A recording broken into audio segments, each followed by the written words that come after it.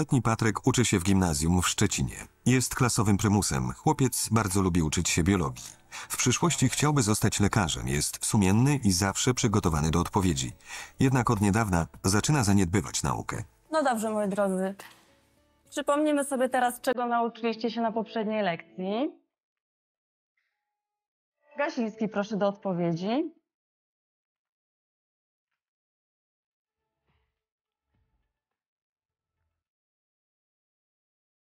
Patryku, opisz proszę budowę i funkcjonowanie aparatu roślinnego na przykładzie rośliny okrytozalążkowej. Pani profesor, ja, ja się nie przygotowałem do odpowiedzi. Jak to? Ty, Patryku, nieprzygotowany? W głowie mi się to nie mieści. Czy możesz to jakoś wytłumaczyć?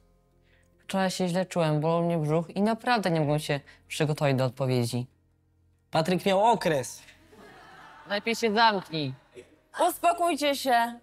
Patryku, takie zachowanie ci nie pomoże. Patryku, wiesz, że dzisiaj powinnam postawić ci jedynkę? Ponieważ jednak zdarza ci się to pierwszy raz, tym razem będę wyrozumiała. Przepraszam, pani profesor.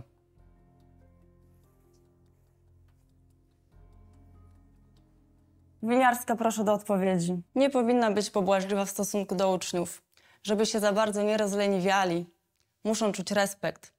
Z drugiej strony Gasiński zawsze był przygotowany, miał same piątki. Nie mogę tak ostro chłopaka oceniać po pierwszej wpadce. Może rzeczywiście źle się czuł. Okłamałem Majewską. No i co z tego? Lepsze to, niż tłumaczy się jakaś łajza. Poza tym, ją nie uchodzą moje problemy. Po szkole Patryk nawet nie siada do lekcji. Wie, że zawalił biologię, ale kompletnie nie ma nastroju do nauki. Nie chce też pomóc ojcu w codziennych obowiązkach. Możesz się tak nie tłuc? O co ci chodzi? Przecież sam mówiłeś, że sport to zdrowie. Chodź do domu, pomożesz mi z obiadem. Powiesiłeś pranie? Nie jestem Paweł, żeby wieszać pranie na sznurku. A może ja jestem? Póki co jesteśmy tu tylko ty i ja, więc albo ty wieszasz, albo ja. Ja teraz gotuję, więc ty wieszasz, to chyba jasne. Możesz mi naskoczyć. Patryk, poczekaj, co ci z tobą dzieje? Patryk! Nie mam czasu na rozczulanie się nad nim. Mam do ogarnięcia pracę i dom. Moja żona wyjechała jakiś czas temu do Anglii. Wiele rodzin tak teraz żyje. Patryk przez jakiś czas zachowywał się normalnie, ale ostatnio... Szkoda gadać. Następnego dnia rano Patryk spotyka się ze swoim najlepszym kolegą Dawidem. Chłopcy dzielą się wrażeniami po obejrzanym wczoraj meczu. O. Siema, stary. Pan u ciebie oglądałeś wczoraj mecz? O, oczywiście, ty. Ale była jadka. Ta akcja w 93 minucie, widziałeś? No po prostu takie okno. No ale to jest problem, no kurczę. Co Wie wie pan? Ten web, no zawsze po prostu nic nie zalicza, no ale w tej sytuacji akurat powinien to wziąć, no. A kurde, mój stary tak się wkurzył, nie? Że prawie telewizora za okno nie wywalił. A mój prawie przez siebie po prostu, no nie wiem. Nie no. Ty. Taka akcja. Ech. Słuchaj. Moja stara pytała się, kazałem się spytać, czy u twojej wszystko okej, no bo się dawno do niej nie odzywała. Skąd mam wiedzieć? Przecież siedzi w Anglii. Ale ci przy nie, przynajmniej nie mędzi nad głową tak jak moja. No, masz szczęście. Ja to co ja. Ty. Już dzwonek jest, to idziemy. Ja nie idę, no co ty, po co? Co? Przecież znowu się nauczyłem na biologię. Po co mam iść? Ty, Nie, daj spokój. Nie, idę, weź, mam tu gdzieś. Nie gadaj. No nie będę nic Ty szedł. taki prymus. Na lekcji się nie nauczyłeś? Tutaj, Nie, no weź się ogarnij się, idziemy. Tutaj, tutaj, tutaj posiedzę i poszedam się po szkole. Dobra, jak chcesz. No to nara. Nara. Mimo namowy kolegi Patryk nie idzie do szkoły. Nie wiem, co się dzieje z Patrykiem. Nigdy się tak nie zachowywał. Z naszej dwójki to ja miałem ogólnie opinię Lesera. Ha, może koleś w końcu wylozował. Po co mam iść do szkoły? Ja się znowu nic nie nauczyłem. Zresztą, są ważniejsze sprawy niż nauka.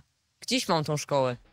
Patryk nie poszedł na lekcję, ale nadal kręci się w pobliżu szkoły. Nastolatek obserwuje rozpoczynającą się właśnie na boisku lekcję wychowania fizycznego. Patryka zauważa nauczyciel WF-u. Chłopak nie wygląda dobrze. Stan Patryka niepokoi prowadzącego rozgrzewkę nauczyciela. Mężczyzna podbiega do nastolatka. Dobra, to sobie teraz pobiegajcie w kółko. Teraz do was wrócę. Ej, chłopaku, co tam masz? Poczekaj chwileczkę. Stał. A co się nie stało? Pokaż co tam trzymasz. Pokaż co tam trzymasz. No co ty robisz? Pijesz piwo zamiast być na lekcjach? Jak ty się nazywasz? Paweł. No nie, nie przesadzam. Jak ty się nazywasz? Co? Powiedz mi. Wsi. Chodź, bo ty się ładnie wstawiłeś. Chodź. Chodź na chwileczkę ze mną. Chodź, chodź. Chodź, bo ty się ładnie wstawiłeś. Ja wiem, że się nic nie stało. Dobra, powiedz mi, z której ty jesteś klasy, co? Nie, to. Jak nie powiem, z której ty jesteś klasy? Nie, No powiedz mi, skąd ty jesteś, powiedz mi, kto jest twoją wychowawczynią? Zostawić mnie pomóc. No jak nie moja sprawa, no jak ty się do mnie odzywasz, co? Jestem nauczycielem, tak? Ej, dzieciaki, uspokójcie się, co? To nie śmieszne. To Słucham. jest Piotr Gaciński. No. Chodź do klasy pani Zielińskiej. Tak? Chodź. Chodź, idziemy do pani wychowawczyni i pana się teraz tobą przejmuje, Martin. Chodź. Biegajcie dalej, co? To jest dla mnie niepojęte, jak zachowuje się w dzisiejszych czasach młodzież. Zdaję sobie sprawę, że jak sam chodziłem do szkoły, to też nie byłem święty, no ale żeby pić alkohol w szkole, to już jest lekka przesada. Zwłaszcza, że ten chłopak ledwo się trzymał na nogach. Co może mi zrobić ten koleś? A Zielińska nie będzie prawić morałów. Pierwszy raz widzę taką akcję, żeby pić piwo na terenie szkoły, gdzieś krzaki muszę schować. Co za łoś. Wychowawczyni Patryka jest zszokowana stanem chłopaka. Kobieta usiłuje dowiedzieć się, dlaczego Patryk pił alkohol na terenie szkoły. Patryk, Patryk, możesz mi wyjaśnić, co właściwie z tobą się dzieje? Patryku, mówię do ciebie. Odwal się ode mnie. Nie jesteś moją mamą. Nie no, ja nie mogę uwierzyć. Chłopcze, co z tobą się dzieje? Co... Możesz mi wytłumaczyć, co to jest? Nie, mo- nie możesz w ten sposób się zachowywać. No co? Chcesz mi jedynkę? Co wstąpiło w tego chłopca? Ja zupełnie go nie poznaję. Zawsze był taki dobrze ułożony. Uczył się praktycznie najlepiej z całej klasy. Stawiałam go za wzór wszystkim uczniom, a teraz kompletnie nie rozumiem. Ja muszę wezwać do szkoły jego rodziców. Ja cię w ogóle nie poznaję. Nie wolno ci, Patryk, nie wolno ci tak się zachowywać w szkole. Patryk. Nie no, to, to nic nie da. Musimy koniecznie wezwać twoich rodziców. Ja natychmiast dzwonię do twojego taty. Niech pani sobie wzywa. Nie do pomyślenia. Życzę powodzenia. Nagle Patryk osuwa się z krzesła i wymiotuje. Patryk, co jest? Patryk, Patryk, nie, nie, nie tutaj. Stawaj. Wychodzimy. Niedobrze ci? Wychodzimy natychmiast do łazienki. Proszę. Bardzo martwię się o Patryka. Chłopiec e, być może wypił alkohol z jakiegoś niewiadomego źródła. To jest przecież bardzo prawdopodobne.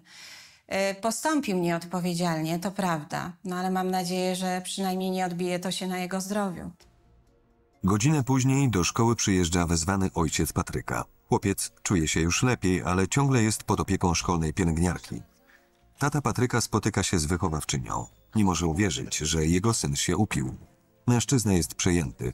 Liczy na szczerą rozmowę z nauczycielką i poradę. Panie Michale, no nie ukrywam, że, że to spotkanie nie będzie należało do, do najprzyjemniejszych. Nie wiem, czy zdaje pan sobie sprawę z tego, że z Patrykiem dzieje się coś naprawdę niedobrego. Tak, ja myślałem, że to po prostu taki okres w życiu buntu, wiek dojrzewania. No, ja bardzo dużo pracuję, ale no, z Patrykiem nigdy nie było żadnych problemów. Naprawdę. I w życiu by mi nie przyszło do głowy, że on może pić. Dzień dobry, ja przyszedłem tu projektor. Nie teraz, wyjdź. Ale ja muszę wziąć projektor. Nie teraz, wyjdź, poczekaj za drzwiami, ja cię zawołam, dobrze? Dziękuję. No także, no, naprawdę nie, nie spodziewałem się tego, że on pije i to w dodatku w szkole. Niestety. Panie Michale, zastanawiałam się, a nie chciałabym być wścibska, tak? To są państwa prywatne sprawy, ale czy jest może coś takiego w domu? No nie wiem, może jakieś kłopoty państwo macie, może to może wywierać jakiś wpływ na, na, na syna. No nie, wydaje mi się, że raczej nie. No dobrze, a wie pan, tak się zastanawiałam, a co z mamą Patryka, bo to już druga klasa, a ja przyznam, nie miałam okazji jeszcze jej poznać. No, na wszystkie wywiadówki przychodzi pan w zasadzie sam. Nie lubię, gdy ktoś wtrąca się w moje prywatne sprawy, ale tu chodzi o Patryka. Matka Patryka jest pielęgniarką i jakiś czas temu wyjechała do pracy w Anglii. Y, Szczerze powiem, że no, ostatnio Patryk rzadko bardzo ma okazję spotkać się z matką. No to sporo tłumaczy. To może rzeczywiście mieć wpływ na, na, na zachowanie syna. No tak. Ale e, panie Michale, no, no musimy jakoś z tej sytuacji wybrnąć, prawda? Zastanawiałam się, wie pan, no pana syn do tej pory był wspaniałym jest w zasadzie, był wspaniałym uczniem, doskonałe oceny dostawał, nie sprawiał kompletnie żadnych kłopotów wychowawczych. Właśnie. To zaczęło się dopiero teraz, czyli ewidentnie coś niedobrego się dzieje. Ale wie pan, y, biorąc pod uwagę to całokształt, tak, to, że był taki wspaniały, musimy, musimy coś zrobić. Ja myślę sobie, że tym razem szkoła nie wyciągnie żadnych konsekwencji wobec syna. Musimy mu dać szansę, prawda? Ale pan ze swojej strony musi koniecznie porozmawiać z Patrykiem.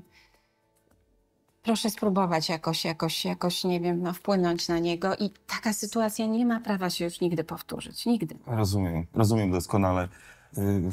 Naprawdę bardzo Pani dziękuję za tą rozmowę i To obiecuję. jest nasza wspólna sprawa. Tak, oczywiście. Zaraz jak tylko Patryk dojdzie do siebie, to odbędę z nim poważną rozmowę. Tak. Ja po, jestem pewien, że po tej rozmowie już żadne problemy nie powtórzą się. Na szczęście udało się jakoś załagodzić całą tę sprawę, ale mamy z Patrykiem do pogadania. Dawno nie najadłem się tyle wstydu co dziś. Współczuję bardzo Gasińskiemu. W zasadzie wychowanie syna spadło tylko na jego barki. Widać, że bardzo się stara, robi wszystko, co może. Ale jednak co matka, to zawsze matka. Teraz trochę lepiej rozumiem sytuację chłopca i, i, i to, skąd mogło wziąć się takie jego zachowanie. Tego samego dnia wieczorem ojciec Patryka postanawia przeprowadzić z synem poważny Nie. Hej, hej, hej, może trochę grzeczniej, co? Skoro już pyskujesz, to znaczy, że czujesz się lepiej. W takim razie może wytłumacz mi swoje dzisiejsze zachowanie. To nie twoja sprawa. Chciałem się napić, to się napiłem. Ej, g- posłuchaj mnie trochę. Alkohol to piją dorośli i to też z umiarem, jasne? Myślałem, że się dzisiaj spalę ze wstydu przed twoją wychowawczynią. Nie obchodzi mnie, co ta p- nie myśli. Nie waż się tak mówić o swoich nauczycielach, ani w ogóle o kimkolwiek. Jak myśmy cię z matką wychowali? Może ci przypomnę, że ona już tu nie mieszka. Ale ja tutaj mieszkam i cię wychowuję i się nie zgadzam na takie zachowanie. Wiesz co? Nienawidzę cię. Żałuję, że nie ma tutaj matki Patryka. Być może ona potrafiłaby mu przemówić trochę do rozumu.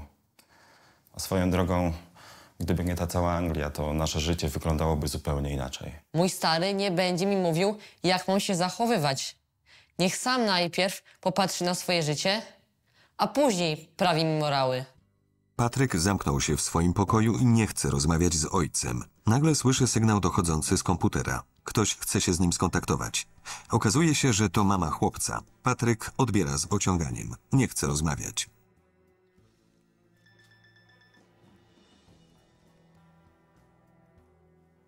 Cześć synku. Nie mogłam się do ciebie dodzwonić. Dlaczego nie odbierałeś telefonu? Bo nie chciało mi się gadać. Czy coś się stało? Dobrze wiesz, co się stało. Patryk, wielokrotnie na ten temat rozmawialiśmy. Myślałam, że wszystko sobie wyjaśniliśmy. Tylko ty tak uważasz. Patrysiu, proszę cię, nie bądź w stosunku do mnie taki surowy. Zasłużyłaś na to. Lepiej powiedz mi, co u ciebie słychać. Jeśli chcesz wiedzieć, co mnie słychać, to wróć do Polski. Teraz to udaje kochającą mamusię. Szkoda, że wcześniej nie zastanawiał się nad tym, co robi. Żygać mi się chce, jak myśli o tej Anglii. W ciągu ostatniego tygodnia Patryk opuścił sporo lekcji. Dziś postanowił przyjść do szkoły. Na przerwie wpada na niego Marta, jego dziewczyna. Jest zła, bo od kilku dni nie ma z chłopcem kontaktu. No, nareszcie znalazłam cię. Oszalałaś to męski kibel. Może nie musiałabym latać po męskich kiblach, gdybyś mnie nie unikał. Patryk, co jest z tobą? Zapomniałeś, że jestem twoją dziewczyną? Że chciałem zapomnieć. Patryk, ale o co ci chodzi? Oj, wyluzuj się. Ja mam się wyluzować? Bo jak na razie to ty się chyba za bardzo wyluzowałeś. Ile jedynek zarobisz już w tym tygodniu? Ta dziewczyna wkurza mnie na maksa. To moja sprawa, jak będę postępował i nikt nie będzie mi dyktował, co mam robić. Dlaczego Patryk mnie tak traktuje? Przecież ja mu nic nie zrobiłam. Zawsze był takim rozsądnym chłopakiem. A teraz? Jakby się z kimś na głowę pozamieniał. Posłuchaj, mam do ciebie prośbę. Się ode mnie, dobrze? W ogóle nie rozumiem twojego zachowania. Nie rozumiem, dlaczego ty to robisz? Po co ci to? Posłuchaj, jakaś głupia nie będzie mi dyktować, co mam robić. Ale Patryk, uspokój się. Mam cię gdzieś. Pa Patryk, no. Ja, głupia p- Jak mógł mnie tak nazwać? Przecież ja mu nic nie zrobiłam. Już go w ogóle nie rozumiem. Patryk wyjątkowo pojawia się na lekcji biologii, jednak przez cały czas przeszkadza w prowadzeniu zajęć. O czym my się w ogóle uczymy? Co to ma być? Po, po co ja tutaj siedzę? A nie mogę. Gasiński, możesz się wreszcie uspokoić? Znudzony Patryk wyciąga telefon i zaczyna filmować nauczycielkę. Odłóż ten telefon natychmiast. Ale pani jest taka piękna. A może pani by chciała zagrać w moim filmie? W takim dla dorosłych? Odłóż ten telefon! Bo co mi pani zrobi? Odbierzesz go sobie po lekcji, a teraz wyciągaj długopis i zapisuj to, co jest na tablicy. No dobrze, moi drodzy. Na dzisiejszej lekcji zajmiemy się budową układu pokarmowego. Słuchajcie, czy ktoś z was zna jakieś ciekawostki dotyczące tego tematu? A może Zosia Jankowska nam powie? Przecież ona go cały czas używa, pochłaniając stony żarcia. Patryk! Uspokójcie się. Patryk, jak ty możesz tak mówić? Przecież każdy wie, że ona jest gruba. Cały czas coś żre. Proszę pani. Patryk, wyjdź z klasy natychmiast.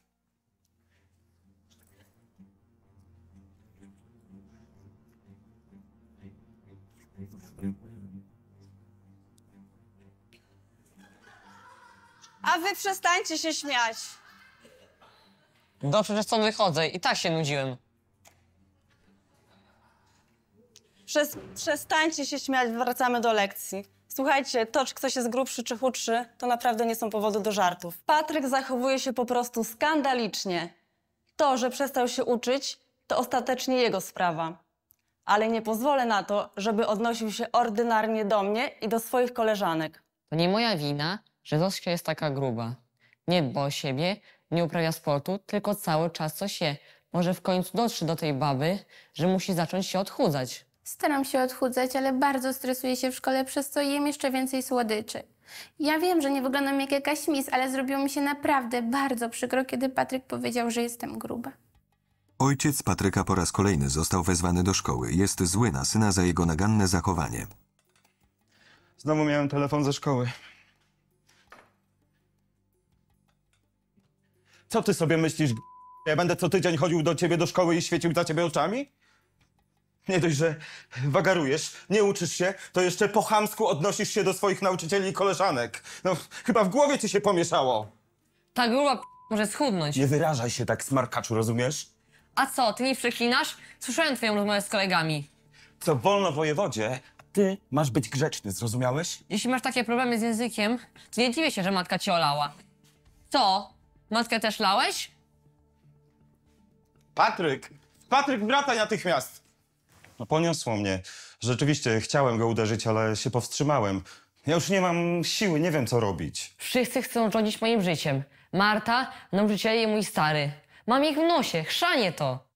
Tata Patryka sprzątając stara się ochłonąć po kłótni z synem. Mężczyzna zaczyna się martwić, że chłopiec wybiegł bez słowa i nie odbiera telefonu.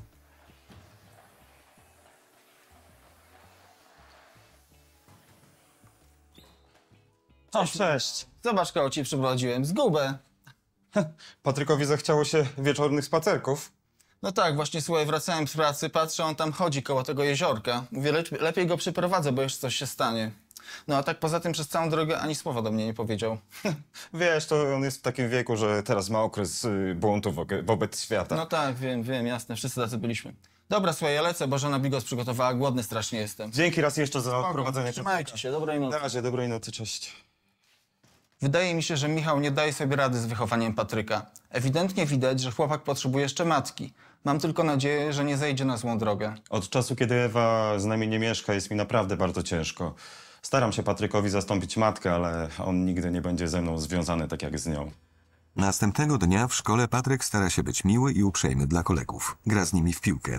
Jednak gdy zauważa przyjaciółkę Marty Izę, składa jej dziwną propozycję. Dziewczyna jest zaskoczona. Sytuację widzi zaniepokojona Marta.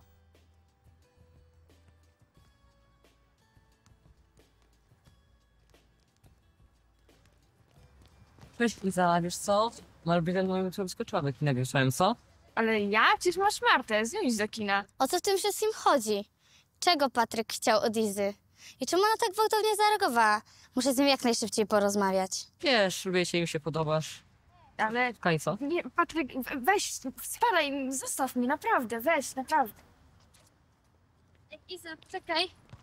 Hmm? Co tam? Yy, nic. Możesz się nie przedstawiać do mojego chłopaka?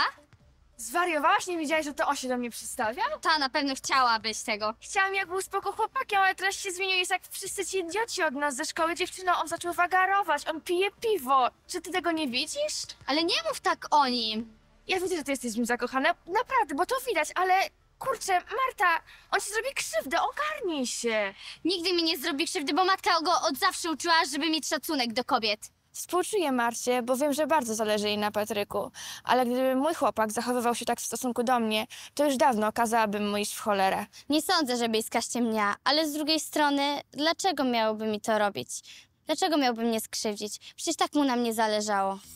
Patryk dostał kolejną jedynkę, tym razem z polskiego. Nastolatek wydaje się w ogóle nie przejmować ocenami. Błaznuje na korytarzu i popisuje się przed kolegami. Kolejna jedynka z polskiego. Jestem z niej dumny. Bardzo fajna. Oto idzie moja upierdliwa dziewczyna, która dedykuje tą nagrodę. Właśnie tą. Do kolejną z polskiego. Patryk, Jestem nie co dumny. robisz? Jak to co? Chwalę się. Z czym? Jedynką? No a co? Jestem z niej dumny. Mogę być dumny przecież. Z jedynki? Tak, mogę być. No to ci bardzo gratuluję. A co to była za akcja na boisku? Czemu podwalałeś się do Izy? No i co z tego, że się podwalałem? Podwalałem się do wielu dziewczyn. Z tego też jesteś bardzo dumny, prawda? Tak, zrywam z tą. Koniec z nami. Ale jeszcze wczoraj... Przecież... Przecież jeszcze wczoraj dzwoniłeś do mnie. Przecież wszystko jeszcze wczoraj było okej. Dobra, dobra, weź przestań. Koniec z nami. Możesz sobie stąd iść po prostu.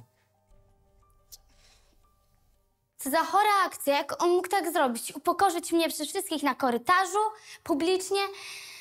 Masakra, nie, nie poznaję go w ogóle. Dobrze, że zabrałem z tą dziewczyną. Działa mi już na nerwy. To jakaś histeryczka. Przecież nie ślubowałem jej wierności. I co z tego, że chciałem pocałować Izę? Patryk niby się wygłupia, ale tak cały czas jedynki dostawać? To lekkie przegięcie. Wolałem tamtego Patryka. Ojciec Patryka jest już skrajnie zmęczony. Marzy tylko o odrobinie spokoju. Tymczasem przyłapuje syna na kolejnych przewinieniach. Patryk, co ty robisz? Wracaj! No ręce mi opadają. Picie, jedynki i teraz jeszcze palenie. Powinienem go teraz dopaść i op... ale zwyczajnie nie mam siły. Muszę coś zrobić z tym chłopakiem, bo inaczej po prostu wykończy mnie i siebie. Może pogadam jutro z jego matką. W końcu to też jej syn. Patryk przemyślał swoje zachowanie i żałuje, że zerwał z Martą. Za radą kolegi chce spróbować ją odzyskać. Marta, Marta, poczekaj. Możemy chwilę porozmawiać? Chyba nie mamy o czym gadać. No proszę cię, tylko chwilę. No dobra, okej, ale... Patryk, przypominam, że w przyszłym tygodniu jest wywiadówka. Poinformowałeś rodziców, że chcę z nimi poważnie porozmawiać? Czy sama mam zadzwonić? Powiedziałem pani profesor. Mam nadzieję. I chcę cię dzisiaj widzieć na lekcji.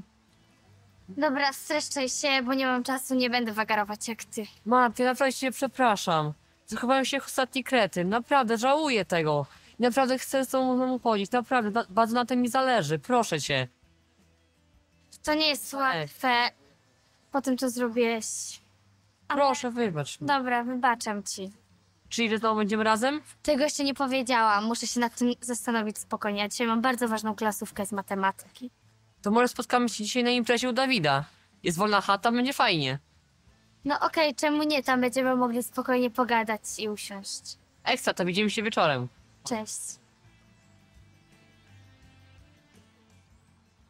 Poszło łatwiej niż myślałem. Wprawdzie nie powiedziała jeszcze, że chce ze mną chodzić, ale widać, że jest chętna. Już się nie mogę doczekać wieczoru. Nie spodziewałam się tego, że Patryk mnie przeprosi, ale z drugiej strony to dobrze, bo bardzo go lubię. Mam nadzieję, że przemyślał swoje zachowanie. Przecież każdy ma gorsze dni. Patryk szykuje się na imprezę u Dawida. Nie powiedział jednak ojcu o swoich planach. Nadal jest dla niego nieuprzejmy i opryskliwy.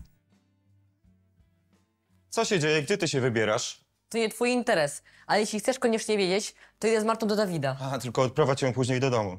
No przecież głupia nie jest, wie gdzie mieszka. No jak ty o niej mówisz? Przecież Marta to taka mądra, miła dziewczyna. Dopiero co byłeś w niej zakochany. Co się dzieje? Zmądrzałem. Rozmawiałem z twoją matką. Rzeczywiście masz się czym pochwalić. Patryk. To się jej poskarż. Teraz będzie dzwonił do matki? Jezu, jakim on jest mięczakiem. Ale co począć? Ja mam go uczyć, jak być prawdziwym facetem? No to świetnie poszło. Porozmawiaj z nim, porozmawiaj, mówiła. Jak jest taka mądra, to niech sama z nim porozmawia, bo ja nie daję rady. Za każdym razem mam ochotę dać mu w twarz. Boję się, że czasem się nie opanuje. Wieczorem uczniowie spotykają się na imprezie w domu Dawida. Marta wybaczyła już Patrykowi i para znowu jest razem. Nastolatka nie spodziewa się jednak zamiarów swojego chłopaka. O. Kogo my tu mamy? Cześć, misiaczki. Jak leci? Widzę, że już się pogodziliście. To dobrze, bo ładna z was parka. No, Martusia to dziewczyna. Dobrze powiedziane. Może was nagram. Wasz wujek Dawid was nagra. Pocałujcie się, zróbcie coś, zaszalejcie. Patryk, co ty robisz? Nie chcę. No weź to Marto, no nie wiesz, No. tak. Księżniczko, nie bądź taka cnotliwa. No Patryk, no pokaż, zrób coś, no. Bądź mężczyzną. Co ty robisz? Ty, ja nie chcę, słyszysz, rozumiesz? Odczep się. Co ty robisz? Ale taka niecykalna jesteś. Uważasz, że kim ja jestem dla ciebie? Jak to kim? O. Wszystkie takie jesteście. Ty i ta twoja Iza. Ja? Jak ty powiedziałeś? No nie rób siary, chodzimy od pół roku. Jesteś zwykłą świnią i egoistą. O. Nie wierzę. Nie wierzę. Jak on mógł mi to zrobić? A ja głupa wierzyłam w jego przeprosiny. Iska miała rację. Patryk jest okropny. Co za idiotka z tej Marty? Co, ona myślała, że będę z nią cały czas chodził za rączkę? Mam ją gdzieś. Zresztą, zaraz znajdę sobie inną laskę. Niezła akcja. Patryk trochę przesadził. Mógł to rozegrać na spokojnie. Już w sumie moja wina. Mogłem go tak nie nakręcać. Ale życie toczy się dalej. Patryk zaraz znajdzie sobie jakąś inną lalę. Następnego dnia rano ojciec Patryka po raz kolejny zostaje wezwany do szkoły. Tym razem nie uprzedzono go, co jest tego powodem. Co się działo na tej imprezie? Weź mi powiedz. Nic nie działo, tylko było spoko. Tak, wszystko było spoko, No jasne. tak, o co ci Wyzywał chodzi? nas od wszystkie kobiety. No to ale- O, proszę, idzie. Wiesz co? Pogadaj sobie, bo ty masz człowieku na w bani. Ty jakieś odstawiasz akcje, ty się zmieniłeś, nie byłeś taki. Ogarnij się, bo już mam ciebie dosyć. Wszyscy ciebie mają dosyć, naprawdę. Na miłość boską, co ty zrobiłeś? Słyszysz, co mówię do ciebie? Dobra, chodź już do tej szkoły, aż się boję, co usłyszę. Co za głupia kretynka. Zrobiła aferę, jakby ją co najmniej zgwałcił i pobił. Mówiłem, że to wariatka. Ale akcja. Tym razem Patryk naprawdę się wkopał. Nie sądziłem, że Marta od razu poleci do psychologa i wszystko wygada. Co za kabel. Ojciec Patryka jest przerażony. Teraz jest już pewien, że syn zrobił coś złego. Na dodatek na korytarzu wpada na wściekłą mamę Marty. Proszę, kogo ja tutaj widzę? Trzymaj pan z dala tego gówniarza od mojej córki. Rozumiesz pan? Puść mnie, pani, o co pani chodzi? A ciebie jak jeszcze raz zobaczę w pobliżu Marty, To co mi zrobisz? ja ci zaraz pokażę, co ja ci zrobię. wariatko Ja wariatka, ja... Tak, ty wariatka! Cokolwiek zrobił złego, to jest mój syn i nie pozwolę, żeby jakaś obca baba na niego napadała. To pan jest chyba wariat, bo pan się rzuca na mnie. A pan się rzuciła pierwsza na mnie. Nie wie, co pana syn wyrabia. Doskonale wiem, dlatego tu jestem. Spotyka. Wiem. Nawraca w głowę w mojej córce, zamiast się zająć nauką. Czy pan tego nie rozumie? A proszę. Pan musi pilnować bardziej te, to, to dziecko, albo iść z nim do lekarza. Jestem tutaj. jest normalne. Widzisz, same wstępy przez ciebie. Ciesz się, gówniarzu, że na policję nie poszłam. Ale jeszcze mogę to zrobić. Mogłabym zabić tego chłopaka. A przecież tyle razy go widziałam. Zawsze taki ułożony, grzeczny, dobrze się uczył. Mogłam z nim porozmawiać. Jak widać, pozory mylą. A ten ojciec jakiś umęczony. Nie wiem, czy mają problemy w domu, czy to jakaś patologia. No co? Miałeś odwagę zrobić to, co zrobiłeś? No to teraz miej odwagę ponieść tego konsekwencje. Idziemy. To moja wina. Ja musiałem coś schrzanić. Ale się starałem. Starałem się mu dać wszystko. Tak bym chciał odzyskać mojego fajnego, mądrego syna. Wychowawczyni zaproponowała Patrykowi i jego tacie spotkanie ze szkolnym psychologiem. Panie Michale, czekamy jeszcze tylko na psychologa szkoły. O, już jest. To właśnie jest pan Michał. Tam. Dzień dobry. Spotkamy się tutaj dzisiaj, ponieważ doszły mnie bardzo niepokojące informacje na temat zachowania pana syna. Panie Michale, czy zdaje pan sobie sprawę, że sytuacja jest bardzo poważna? Tak, rozumiem. Tylko nie wiem, co mam zrobić. Przecież nie zacznę go bić. No z czego ty się cieszysz? Jak mogłeś potraktować tak tę dziewczynę? Przecież to wszystkie kobiety, wszystkie kobiety takie są. Patryk, Moja mama też taka jest. jak ty się w ogóle odzywasz? O, przecież mówisz o swojej matce. Czy ty sobie zdajesz sprawę, że za takie zachowanie grozi ci usunięcie ze szkoły? Patryk, jak śmiesz tak mówić? A co, może nie mam racji? Gdyby była normalna, to by nas nie zostawiła. Panie Michale, o czym właściwie mówi pana syn? Przecież wspominał pan, że żona wyjechała do Anglii do pracy. Nie mogę dłużej kłamać przed wychowawczynią Patryka. Muszę jej powiedzieć prawdę o mnie i o mojej żonie. Tak, to, to prawda. Żona pracuje w Anglii, tyle że rok temu rozwiedliśmy się. Ona poznała tam kogoś, ma z nim dziecko. Nie zadawałaby się z żadnym f... gdybyś o nią dbał. Patryk, zrozum, że to nie moja wina. Przecież tłumaczyłem ci to i wyjaśniałem tyle razy. Nic nie wyjaśniałeś. Jesteś zwykłym mięczakiem. Taka jest prawda. Synku, synku, naprawdę próbowałem mamę przekonać, żeby wróciła. Dzwoniłem do niej, jeździłem. Czy ona też jest puszczalska, tak jak wszystkie kobiety? Patryk, to, że nam się nie ułożyło, to nie znaczy, że mama cię nie kocha. Naprawdę. Patryk, no tylko proszę cię, nie mów tak o niej więcej, ani o żadnej innej kobiecie. Patryk. Nie wiem, jak pomóc mam Patrykowi, ale wiem, że to przecież tak naprawdę jeszcze dziecko, które niezupełnie sobie zdaje sprawę z tego, co mówi, z tego, co robi. Wiem tylko na pewno, że ta pomoc jest mi potrzebna natychmiast. Sam nie dam rady. Czemu nas zostawiła? Przecież miała wyjechać tylko na kilka miesięcy i wrócić do Polski. Może tata się już jej nie podoba, ale ja? Chciała sobie zrobić inne dziecko? Nie zdawałam sobie sprawy z tego, że rodzice Patryka się rozwiedli. To po części tłumaczy jego zachowanie. Obawiam się jednak, że bez pomocy psychologa nie da sobie rady ani ojciec, ani syn. Patryk razem z tatą chodzą na terapię rodzinną. Chłopiec powoli uczy się akceptować rozwód rodziców. Co trzy miesiące odwiedza swoją mamę w Anglii. Ojciec Patryka zaprzyjaźnił się z koleżanką z pracy.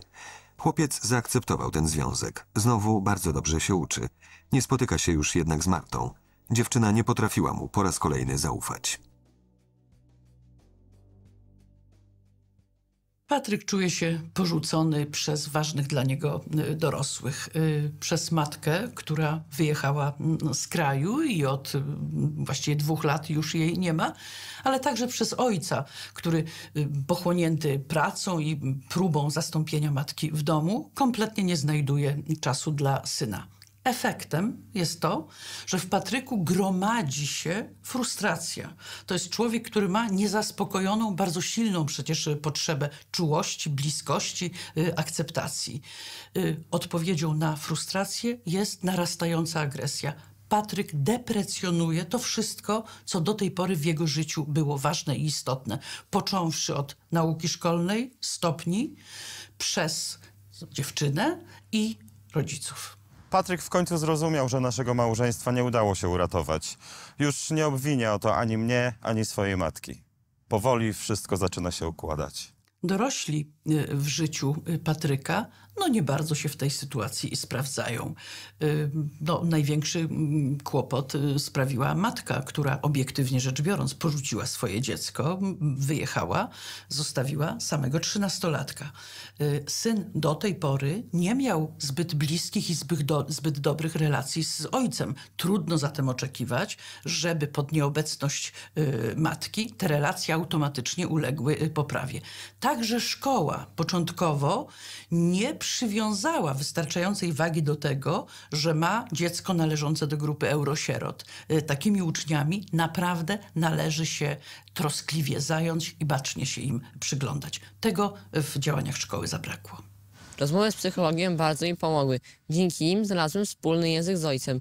Cieszę się, że zaczął się z kimś spotykać. Nasilające się kłopoty z e, zachowaniami Patryka e, sprawiły, że jego ojciec zaczął w końcu szukać sprzymierzeńców. Skontaktował się z wychowawczynią i z psychologiem szkolnym.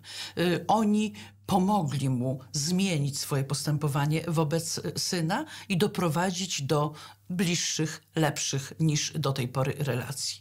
Myślę sobie, że szkoda, że szkoła, wiedząc, iż ma uczniów należących do, do, do grona y, eurosierot, nie prowadzi takiej akcji edukacyjnej, profilaktycznej niejako, y, zapoznając rodziców z konsekwencjami wyjazdu matki lub ojca za granicę.